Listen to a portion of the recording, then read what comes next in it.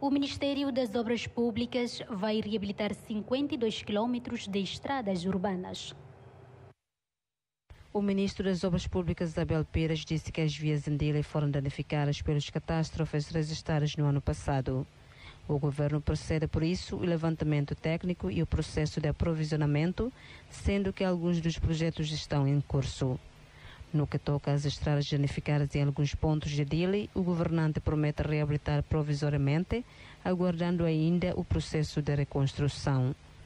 De acordo com o governante, as estradas em Becora, em Mote, em Tacitolo, entre outras, estão nas prioridades do governo.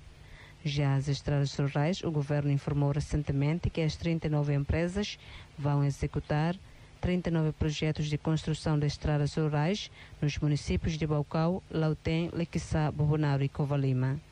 O governo quer apostar no desenvolvimento de estradas rurais no sentido de garantir o movimento de cidadãos, estimulando ainda o desenvolvimento do setor econômico.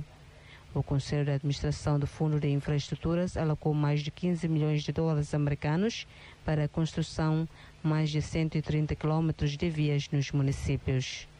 Timóteo Guzmão, Holandino Pacheco, RTTL. Hai, telespectadores atuhetan informação atuais no factuais que tá lua inscreva. No hanehan botão notificação, pode for comentário no faz tutan, ba merecê-lo.